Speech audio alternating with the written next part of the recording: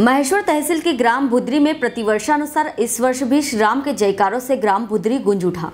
गुड़ी पड़वा नववर्ष पर सकल हिंदू समाज द्वारा ध्वज यात्रा एवं प्रभात फेरी का आयोजन किया गया। शाम साढ़े सात बजे मैन रोड स्थित श्री सिद्धेश्वर खेड़ापति हनुमान जी के मंदिर में पूजा अर्चना कर ध्वज यात्रा की शुरुआत हुई।